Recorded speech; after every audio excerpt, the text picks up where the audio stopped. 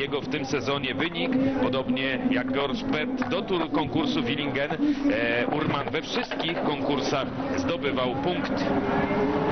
Równa, dobra forma reprezentanta Niemiec.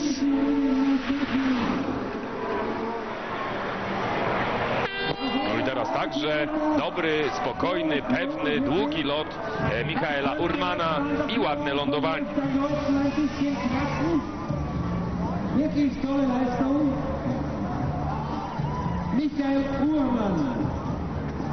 Eine tolle Weite. Dobre lądowanie, 191,5 metra. No i proszę popatrzeć, noty wysokie, 19.